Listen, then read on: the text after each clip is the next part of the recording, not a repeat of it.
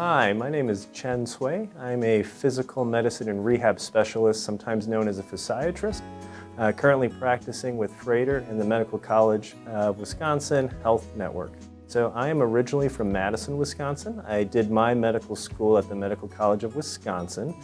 After that, I went to Texas, so I did my residency at the University of Texas Southwestern in Dallas, and then I finished up with a uh, pain fellowship training at the University of Wisconsin in Madison. The bulk of my practice is related to um, spine disorder, so non-operative back issues, and I treat adults of all ages.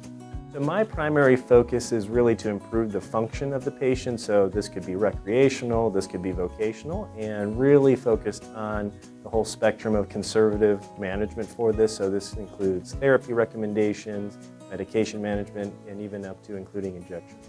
I like to treat all of my patient encounters almost as a conversation where a lot of the time I spend listening to what their concerns are from a purely symptomatic perspective, but also what activities do they normally like to do that they can't do because of that condition. So those are the things that we focus on and we at least try to make um, attainable goals and form a plan to get there.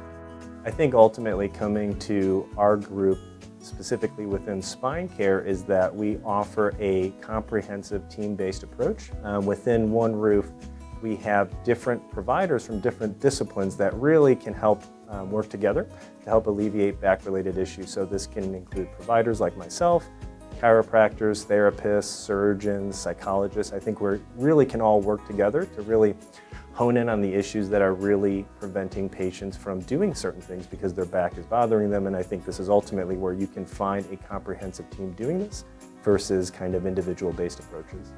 I think within my specialty, the most satisfying thing from a clinical perspective is really getting people back to doing what they like to do. Um, especially when people have back-related issues, you find that it can be this very um, limiting process where really basic activities are really not comfortable for patients to do. So really getting them back into that perspective is, or uh, getting back to that is very gratifying. And from my own perspective now, coming from a private practice, coming to the academic setting, I'm really excited to work with learners, whether they're residents or medical students or fellows.